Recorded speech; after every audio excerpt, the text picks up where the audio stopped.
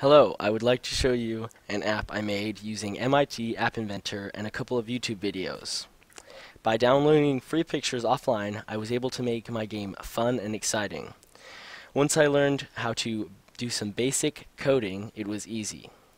I hope in the future to make a tutorial video on how it was all done. Here I'm showing you the images that I downloaded to make it. Um, MIT App Inventor 2 is free for anybody. You just gotta make an account. And right here, this is uh, coding. The coding's simple, basic once you've learned how to do it.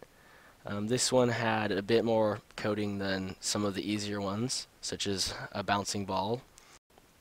I've left an APK file in the description for you guys to download on your Android devices and play all day. Let me know what you think in the comments.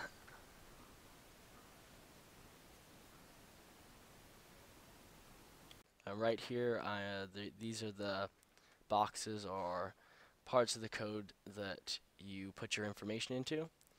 The math is what I use to find things such as the screen width and length. Okay, here it is in progress. Pro yeah. Um, it's pretty simple. All you do is, that is a puck right there. I'm flicking it at the goalie. I'm trying to make it into the goal.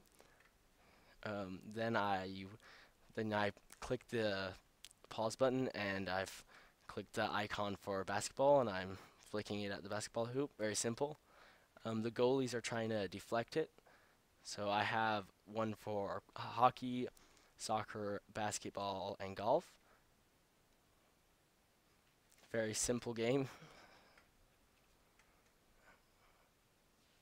In the golf, I have a little gopher trying to knock it away, and as you can see up in the top left-hand corner, there is um, a score. So you get to try and beat your score every time.